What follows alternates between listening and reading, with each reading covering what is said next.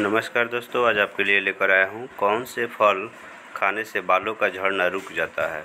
तो दोस्तों, अगर चैनल को सब्सक्राइब नहीं किए हैं तो प्लीज़ चैनल को सब्सक्राइब करें और बेल आइकन प्रेस करें ताकि अगले वीडियो का नोटिफिकेशन आपको मिलता रहेगा। बाबर ने भारत पर किस साल आक्रमण किया था? बाबर ने भारत पर 1526 में आक्रमण किया था। होम रूल लीग की शुरुआत किसने की थी? होम रूल लीग की शुरुआत बीजी तिलक ने की थी, महात्मा गांधी जनवरी 1915 में कहाँ से भारत वापस लौटे थे? महात्मा गांधी जनवरी 1915 में दक्षिण अफ्रीका से भारत वापस लौटे थे। कौन से फल खाने से बालों का झड़ना रुक जाता है?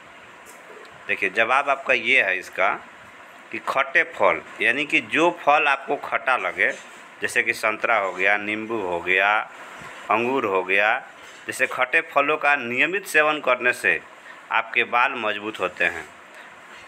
बालों के लिए जामुन सबसे बेहतर माना गया है। यदि आप जामुन खाते हैं तो बालों का झड़ना जो है रुक सकता है आपका पूरा बिल्कुल।